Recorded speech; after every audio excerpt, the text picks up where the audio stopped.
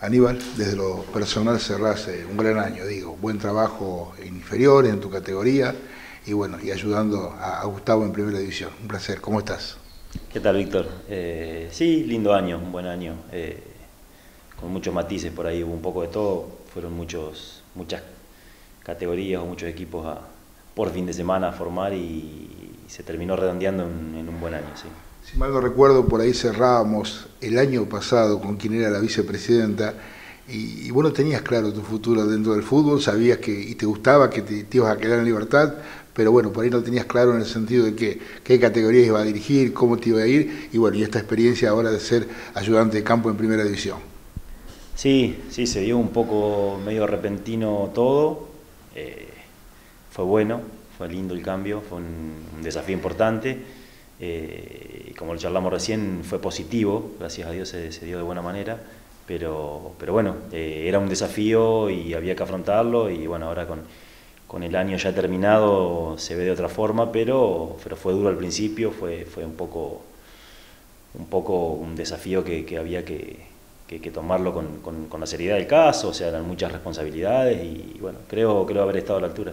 Los números tuvieron un gran año, tus pibes, los, de sexta división, y digo yo, el, el anteúltimo paso como para ahí encarar la primera división. Sí, sí, sí, sí, la verdad que eh, no estaba muy empapado yo del tema, eh, después como se fue dando y con, con los logros que, obtuvimos, uno por ahí va escuchando y va, viendo y, fue algo, algo lindo, un, lindo premio, dije yo, o les dije yo a ellos en su momento. Eh, no es el objetivo principal nuestro, obviamente. Eh, esperemos que el objetivo principal se cumpla dentro de dos o tres años cuando esos chicos estén en primera. Eh, ahí recién vamos a estar, creo que satisfechos al 100, pero fue un lindo premio haber, ganado dos torneos sin siquiera perder un partido, empatando creo que dos partidos únicamente, terminando una última fecha contra el clásico rival, dando vuelta un resultado, la verdad que eh, no se puede pedir más nada para esa categoría. Eh. ¿Cómo estuvo la competencia en sí, en el fútbol de la Liga Rafarina, más allá de, tu categoría, y por ahí si, si está bien o si le cambiarías algo desde tu punto de vista? No, en cuanto a la competencia, me parece, por lo que voy viendo y aprendiendo, que se trata mucho de camadas, de camadas de, edades. Eh, esa edad que decís vos que es la sexta división es una categoría que no es únicamente la nuestra, la que es muy competitiva, sino que prácticamente todos los rivales son durísimos, o sea que todos tienen un buen nivel. Después se nos terminó dando a nosotros por, por resultados, por detalles, pero eh, nada, es seguir mejorando un poco lo que, lo que decía Cristian también.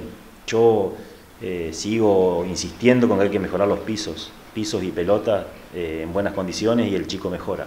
El elemento básico, la pelota por un lado y, y el lugar donde se juega, el piso. Sí, sí, lo de las pelotas ya, gracias a Dios, hace mucho que está resuelto, lo de los pisos es mucho más costoso, obviamente, para un club que, todavía volvimos a estar en un lugar amateur, que no es que, nos dedicamos plenamente a eso, entonces la, la gente que colabora hace un esfuerzo enorme.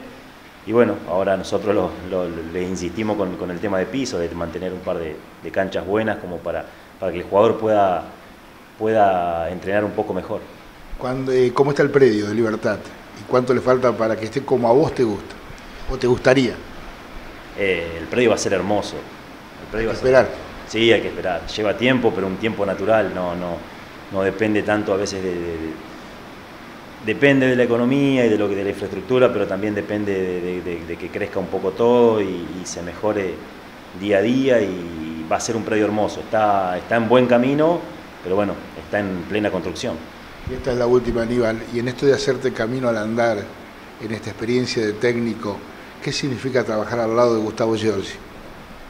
Bueno, primero le, le, agradecí, le agradezco en este momento otra vez. Eh, él fue el que me dio la posibilidad, por ahí era mucho que agarre, eh, que esté en los dos lugares que me toca estar, pero bueno, él confió en que, yo lo podía hacer, creía que por ahí a futuro podía ser un, potable entrenador de primera también, eh, así que agradecido con él, eh, en algunas cosas pensamos muy parecido, se aprende, se aprende siempre de todos, así que uno tiene que saber ponerse a un costado, escuchar, mirar, ver observar, sacar lo bueno y lo malo, lo que, no sé si lo bueno y lo malo, pero lo que uno intentaría hacer a futuro estando en ese lugar. Así que es aprendizaje todos los días. En todo orden de la vida, saber escuchar es sumamente importante. Sí, sí, primero que escuchar, después, después hablar, pero sí, sí, saber escuchar, saber observar también, saber eh, hacerse un costadito y, mirar